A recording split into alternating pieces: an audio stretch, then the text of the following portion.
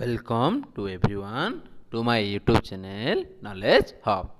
तो आज हम जो विषय पर बात करेंगे ना, वो बचपन से बहुत ज़्यादा पढ़ाई की है, मगर उसके बारे में थोड़ी कम ही पता है। तो चलो, आज हम शुरू करते हैं। जो रोमांस लेटर है ना तो वो शुरू हुआ है रोमांस के देशों में। तो रोमांस के लोग इससे इस्तेमाल करते थे हैं काउंटिंग में। उसे उस टाइम एडिशन सब्ट्रैक्शन सभी मेथड में इसका इस्तेमाल किया जाता। मगर इंडियन सिस्टम की तरह ही, जैसे हम एग्ज़ाम्पल लेते हैं थ्री थ्री के बाद हम ज़ीरो लगा देंगे तो वो थर्टी हो जाएगा। इसके बाद और एक ज़ीरो लगा दो तो थ्री हंड्रेड हो जाएगा। इसी तरह रोमान नंबर में कोई नहीं है। मगर एक एग्ज़ाम्पल लेते हैं फाइव फाइव का मतलब है रोमांस में भी। मगर हम लिखेंगे फिफ्टी फाइव तो डबल भी लिख देंगे? नहीं। ऐसा नहीं होता है। इसी तरह ही कुछ इंटरेस्टिंग फैक्ट है रोमांस नंबर में। उसके बारे में आज हम पढ़ाई करेंगे। जो और एक एग्ज़ाम्पल लिख सकते हैं कि हमारा एल एल का मतलब होता है फिफ्टी अगर हम लिखेंगे एल एल इसका मतलब क्या हो जाएगा? फिफ्टी फिफ्टी हंड्रेड नो तो अभी हम देखेंगे कैसे हिंदू अरबिक नंबर को रोमांस में लिखते हैं।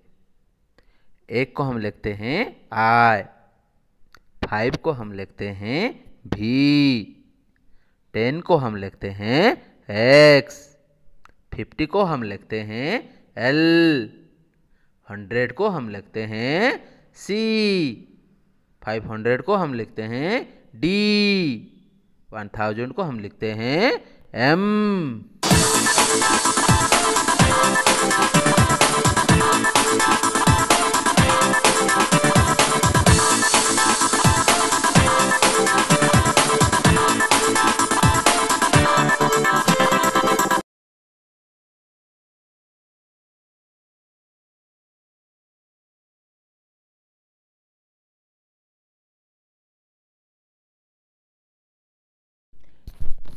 अभी हम देखेंगे सब्ट्रैक्शन के कुछ नियम जो हम रोमन नंबर में इस्तेमाल करते हैं।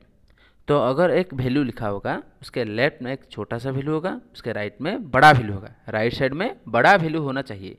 तो हम क्या करेंगे ना, उसका जवाब पाने के लिए उस दो वैल्यू को सब्ट्रैक्ट करेंगे। अगर हम सब्ट्रैक्ट कर देंगे तो हमें रोमन नंबर आ जाएगा। और एक नियम है बच्चों, याद रखना कि हम कभी भी एक डिजिट को रोमान में तीन बार ही लिख सकते हैं, उसके ज़्यादा नहीं लिख सकते। तीन बार ही लिखना, उससे ज़्यादा नहीं लिखना। अभी हम उस एग्ज़ाम्पल देखेंगे। देखो four four is equal to I V be has higher value I has lower so five minus one is equal to four in Romans I V मतलब भी हायर वैल्यू है, इसलिए उसे राइट तरफ़ लिखा गया है।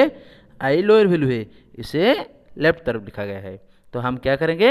ना भी से आई को सब्ट्रैक्ट करेंगे। तो five minus one is equal to four तो हम लिखेंगे आई भी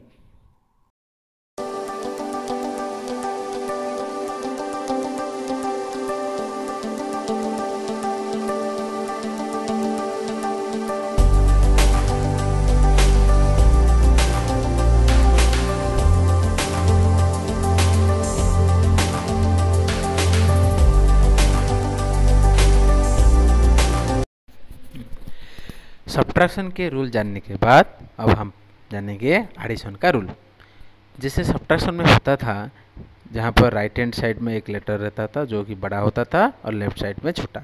मगर यहाँ पर क्या होगा, ना लेफ़्ट साइड में बड़ा नंबर रहेगा, और राइट साइड में छोटा नंबर रहना चाहिए.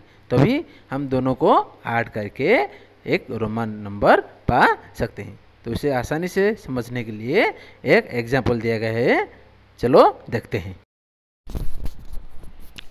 एग्ज़ाम्पल को ध्यान से देखो।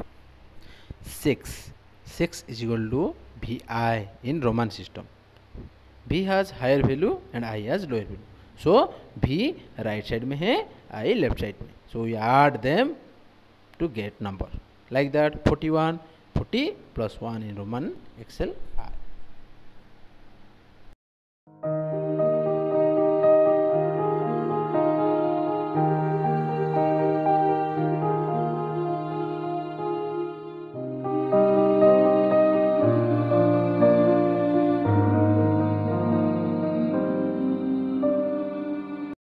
अभी हम देखेंगे कि हम कैसे रोमन नंबर को अपनी डेली लाइफ में इस्तेमाल करते हैं।